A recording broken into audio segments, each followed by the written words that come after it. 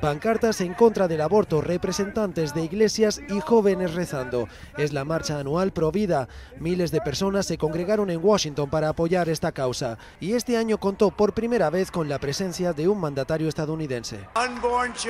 Los niños aún no nacidos nunca han tenido un defensor más fuerte en la Casa Blanca. Entre los asistentes a la marcha está Iset.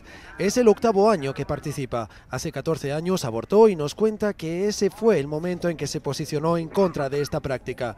Valora especialmente la presencia del mandatario.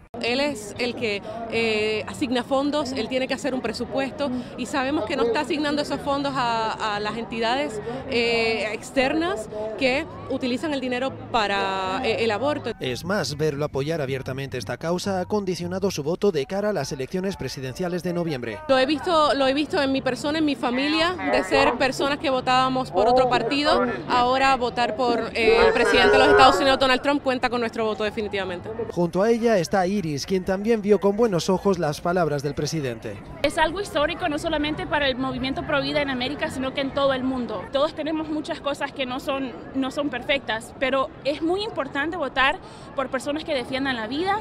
Sin embargo, no todos los latinos piensan igual.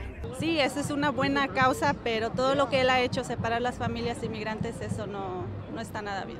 El señor es muy conflictivo, él tanto dice una cosa ahora como cambia de opinión al día siguiente. O sea, no tiene una constancia en lo que dice. Pese a las discrepancias políticas entre algunos de los participantes en esta marcha, la presencia del presidente Donald Trump aquí es clave para solidificar el voto de su base más conservadora de cara a las elecciones del próximo noviembre. Bricio Segovia, Voz de América, Washington.